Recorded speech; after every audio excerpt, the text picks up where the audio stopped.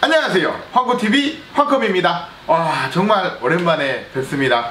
어 원래는 A320M gaming보드 ASUS A320M gaming보드가 어 이제 이번에 Vermeer 5000번대랑 4000번대를 지원한다고 해가지고 원래는 5600G에 어 A320 보드를 물려서 어뭐 벤치값이라든지 아니면 전원부 온도 같은 거를 좀 테스트 해보려고 했었는데 안 돼요. 음. 5600X는 정상적으로 붙어요. 어, 근데 5600G는 붙지 않습니다. 4650G랑 5600G랑 내장 그래픽이 똑같기 때문에 어, 비미어랑 어, 4650G를 지원하면서 당연히 5600G도 지원을 할 거라고 예상을 했었어요. 5800X도 어 이제 에이수스 쪽 이 보드 쪽 공식 지원으로 보면 5800X도 지원이 된다고 되어 있지만 5600X는 또 프로세서의 지원 목록엔 또 없더라고요. 근데 저희가 5600G를 펌웨어 넣고 붙여보니까 안 돼서 5600X를 붙이니까 또 5600X는 정상적으로 붙더라고요. 어, 조금 펌웨어 올라오면 5600G도 붙을 것 같아요.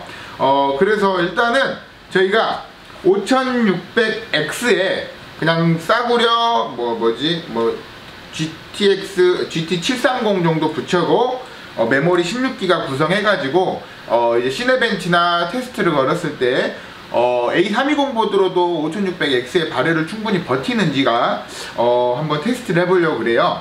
A320M gaming 보드 같은 경우는 이쪽에 전원부가 어, 총 6 phase가 있어요.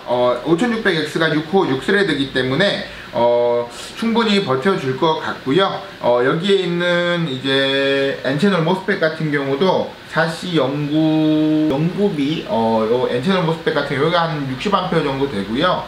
어, 4C 06B 같은 경우도 한 68, 70A 정도 먹이니까, 어, 전원 구성은 좀 잘 되어 있고, 어, 메모리 쪽도 이제 전원부 구성도 그냥 뭐 쏘쏘하네요. 근데 워낙 지금 A320M 게이밍 보드가 가성비가 워낙 좋다 보니까 아마 이게 지금 좀 나온 지도 조금 됐고 어 이번에 범, 빈미, 어 이번에 또 5,000번대까지 지원되면서 굉장히 요 보드랑 해가지고 많이 업체에서들 많이 조합해서 파실 것 같아요. 5600X나 아니면 5800X까지 좀 해봐죠 음.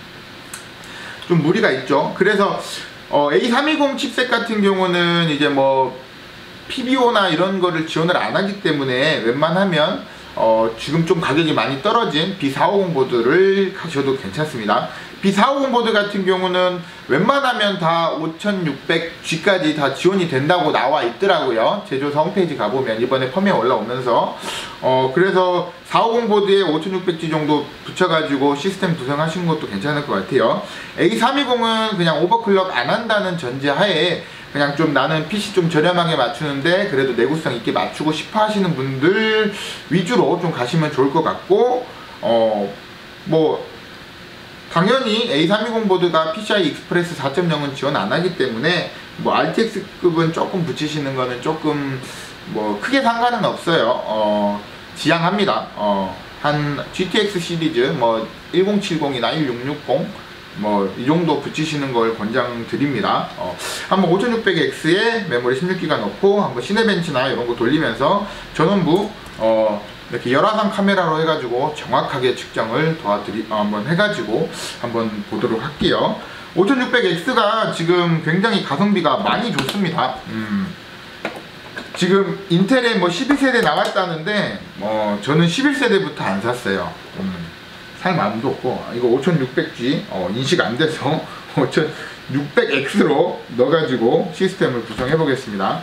어, 그래가지고 A320 이 gaming 보드 같은 경우도 5600G랑 해가지고 좀 발열도 괜찮고 하면 좀 저렴하게 해가지고 좀 나가려고 했어요. 얘가 한 5만원 후반에서 6만원 초중반대 가격이 나오다 보니까 또 이게 또 업자들 같은 경우 뭐 창고에 100박스 200박스씩 땅 박혀 있는 업체도 있을 거예요. 어, 대원 쪽에서 또 워낙 그렇죠. 예. 아무튼 말 줄이고 어, 발열은 뭐 사제 쿨러 다는 것도 좋은데 기본 bundle로 들어가 있는 Wraith Stealth 쿨러를 넣을게요. Wraith Prism 쿨러 같은 경우는 지금 거즘 이벤트가 거의 끝나서 재고 갖고 있는 업체 말고는 Wraith Prism 쿨러를 넣기가 조금 어려울 것 같고 저희는 아직 재고는 있습니다. 음. 그리고 대원, 대원이나 어디든 나오는 이 정품 쿨러에 발려있는 thermal compound가 굉장히 점도가 높고 효율이 안 좋아요. 기존에 있는 걸 안 닦고 그냥 넣으셨을 경우에는 이제 나중에 thermal compound 재바, 재도포 하시려다가 못 뽑게 되면서 핀 손상 될 수도 있으니까 싸구려니까 그냥 닦아내시고 뭐 thermal compound를 새로 어 하나 좀 한 4, 5천원짜리 구매하셔가지고 장착하시는 거를 권장 드립니다.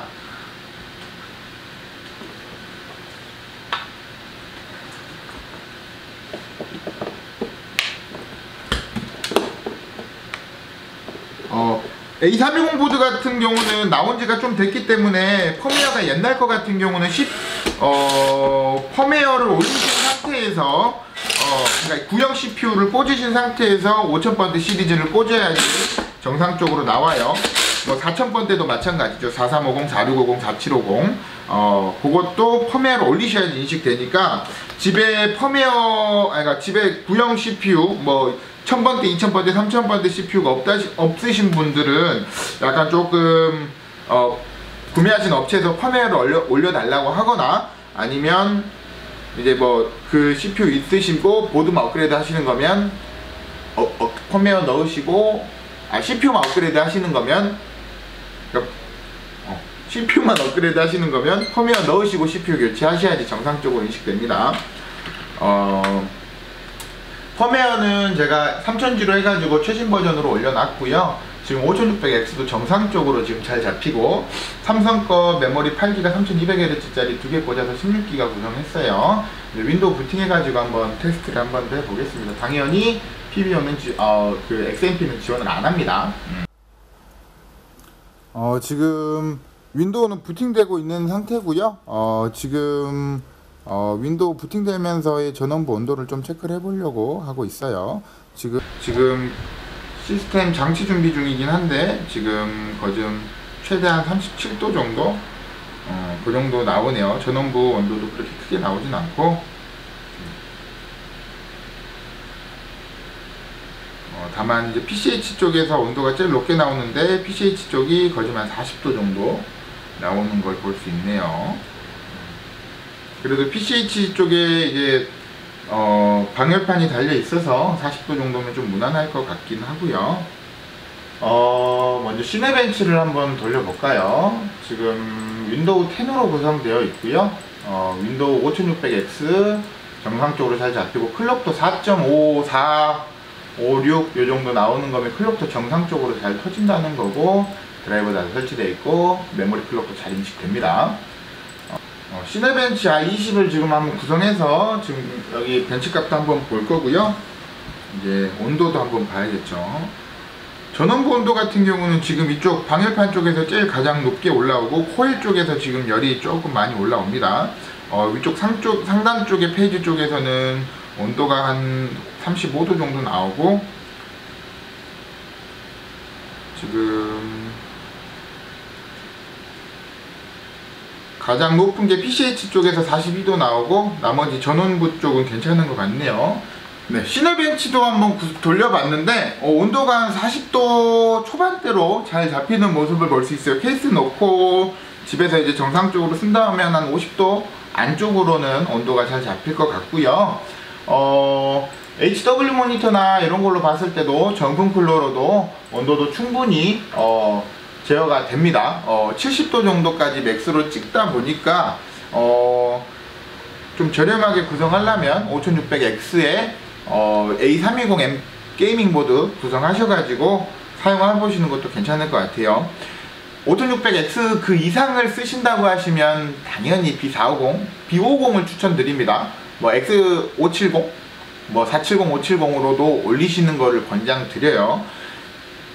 저렴하게 맞추시려는 거, 그러니까 저렴하게 이제 시스템을 구성하실 때 가성비 좋게 구성하는 제품을 추천드린 거고, 방열판이 없을 경우에는 70도, 80도까지 찍을 겁니다. 음, 제가 그 제 블로그에 i7 CPU에 뭐 H110 보드나 뭐 보급형 보드 넣어가지고 전원부 발을 찍어 놓은 것도 있어요. 그것도 오래 못 씁니다. 어.